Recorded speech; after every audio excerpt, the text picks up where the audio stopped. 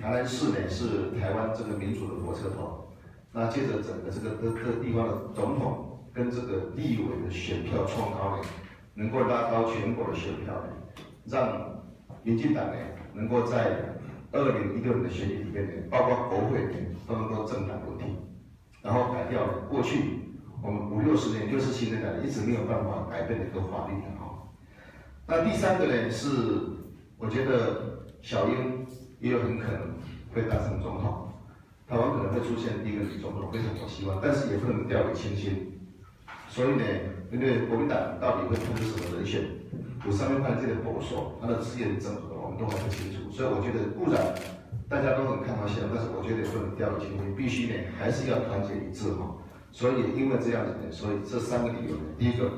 我宣布呢，我不参选这一次的立委选举了哈。第二个呢。我在刚一眼选举完之后，就严禁就已经跟我们党工都讲好了，在地委初选的时候呢，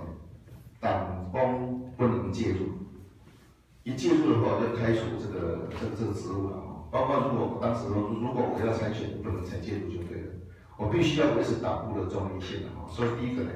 所谓党工呢是包括目前在这个党部上班，包括我们各区的主任。都不能介入整个初选。我们希望呢，同志之间呢，不要互相攻击哈，有竞争，但是不要斗争的哈。毕竟这个民主的基石呢，是大家一颗一颗石头呢，把它累积而成。